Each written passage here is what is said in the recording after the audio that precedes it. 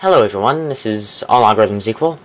And so I concluded the last video with the statement of the law of quadratic reciprocity, but we didn't have much time for analysis. Today we'll look at some examples and implications of this golden law. So first we have an example where p equals 5 and q equals 13, as you can see. And I'd like to remind you that p and q are defined to be distinct odd primes in order for the law of quadratic reciprocity to hold. And so what we actually have is a listing of each of the quadratic residues modulo 5. And this is just regarding this first part. You know, as I described in the last video, there's a certain pattern to the quadratic residues modulo a prime number, and so we can calculate them, at least for this for this small case where p equals 5. You know, it would be more difficult if p were a larger prime number, like 127. But in this case, of course, we have 1 squared is equal to 4 squared is equal to 16, which is equal or congruent to 1 modulo 5.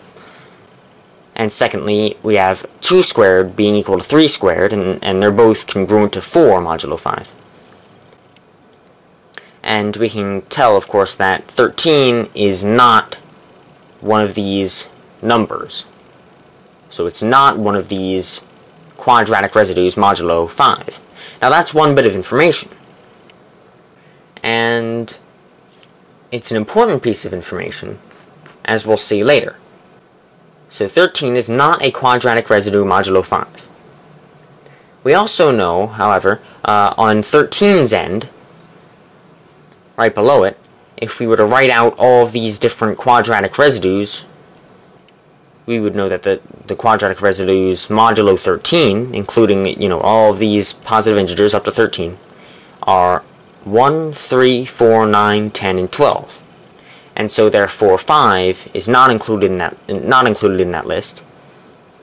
And so clearly it is it is not a quadratic residue modulo 13 either and what's another way of logically deducing this? The golden theorem of course. The the law of quadratic reciprocity. And so I'm going to show you what that states and, and how we can deduce that from it. So again we know that if P and Q are distinct odd primes, so they're, they're different odd primes, then using the Legendre notation, we can say P over Q evaluated, meaning, you know, is P a quadratic residue modulo Q, multiplied by, going the other way, Q over P, so, you know, the determination of whether Q is a quadratic residue modulo P is equal to, as proven by Gauss, negative 1 to the quantity P minus 1 over 2 times Q minus 1 divided by 2. And so this is the law. Don't violate it.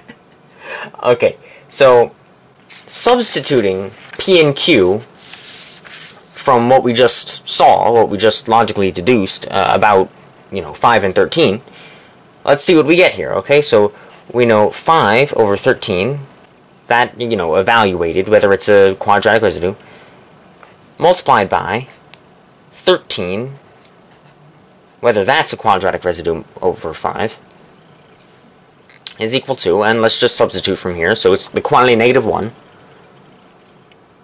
and it's to the power. Well, let's see, p is 5. Uh, 5 minus 1 over 2 times 13 minus 1 over 2. And of course we can simplify that. In that case, that would be, well, actually, I can just put it over here. Negative 1 to a certain power. It's negative 1 to the, let's see, 4 over 2 is here, so that's squared times 13 minus 1 is 12, divided by 2 we get 6. And so basically we have that this is equal to 1. And let us also recall for a moment that P, P on Q, this Legendre notation, returns 1 only if p is a quadratic residue modulo q. So just give me a moment right now. Okay, and, and what we just demonstrated is that, well, 5 is not a quadratic residue, so, you know, we can say it's a quadratic non-residue modulo 13, and, of course, 13 is a non-residue modulo 5. So, again, substituting, we can get negative 1 times negative 1 being equal to what we just obtained on the right side, which is 1, and of course this equation checks out. Negative 1 squared equal to 1, and that is of course true. It's well done uh, how we can see a demonstration of this. And in fact, without even going through all these calculations, you know, all these different calculations just to check if this is true, we could in fact just have done this top half, whether 13 is a quadratic residue modulo 5, and then, using this equation, using this formula here, we could have determined whether 5 is a quadratic residue modulo 13, and we would have known that the answer is no. In other words, if we knew one of these variables, if we knew p over q, and we knew the values of p and q, then we can then we can divide out and, and logically deduce this. So in this case it would have been, you know, negative 1 times x is equal to 1. And of course, multiply both sides by negative 1, and you can get that x, this missing value in theory, uh, would be negative 1. And so it's very interesting. Another way of getting to that answer.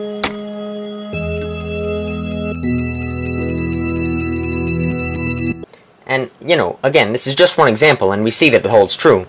However, I'm sure you're wondering, what is the general rule for the pattern that emerges here? We have a formula, but can we make better sense of it? Well, indeed we can, and I've demonstrated this bit of a, a table for you right here. These are sort of my own notes, but um, we can see, you know, the law of quadratic reciprocity, p over q times q over p equals negative 1 to this quantity, p minus 1 over 2 times q minus 1 over 2. And if we actually really consider what the different values of p and q are, and what patterns they follow, you know, what, what uh, rules they obey, then we can, we can analyze this better. For instance, if we study each of the primes p and q, we know that they are odd primes. So therefore, p, you know, for an odd prime, if we subtract 1 from it, we get an even number. So we can safely divide by 2, which makes sense. But if you think about it, what makes the main difference is whether this side of the equation evaluates to negative 1 or positive 1. Because, you know, negative 1 to some integer is obviously just going to be either positive or negative 1. And so, if we presume that p minus 1 is divisible by 4, then we know that the exponent of negative 1 is an even number. And thus we know that this whole side of the equation evaluates to 1, so k, what I call k, equals 1 in that case. And what that really means is that both p and q are quadratic residues, or both are non-residues relative to each other.